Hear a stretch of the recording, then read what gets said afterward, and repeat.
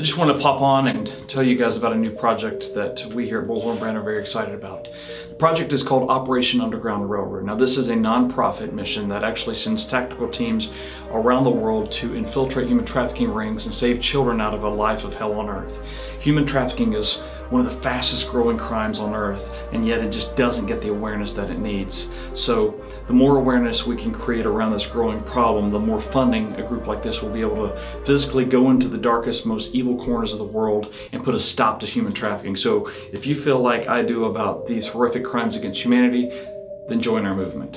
There's a new documentary called Operation Toussaint it's the story of Tim Ballard and his tactical team as they go into Haiti to rescue uh, children out of sex slavery. They infiltrate um, and, and disband this human trafficking ring. It's a powerful, emotional film that demonstrates the possibilities of what this movement can do. We need these videos, these messages, these streams to go viral. Share it with anybody and everybody that you can.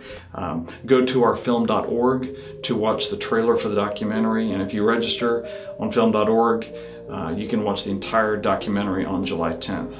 We really appreciate your support. Please share this video. We are Bullhorn Brand, and I am Anthony Reynolds. Thank you.